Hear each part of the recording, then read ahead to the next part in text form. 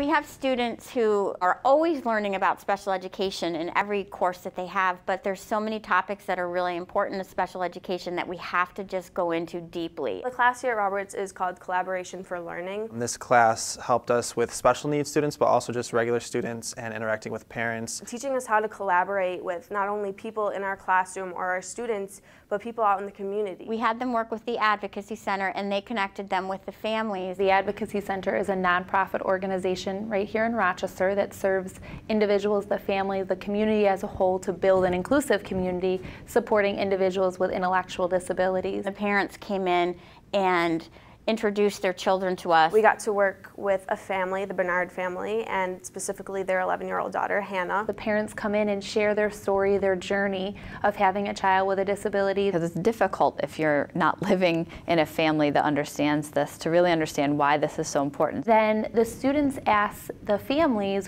what is something that we can research or work on to support you and your families? They wanted us to work to find respite programs and try and recruit people here at Roberts to work for those respite programs. The proposal given by all the Roberts Wesleyan students on our team was, was absolutely fantastic. They really did a lot of research. They really know what they're talking about. The goal for this component of the course really is for them to understand the reality of what happens when you're collaborating with families. They are really working with a family, making connections. Project was really fun. I've never done a project like this. It was really great for them to be a part of the projects that they had.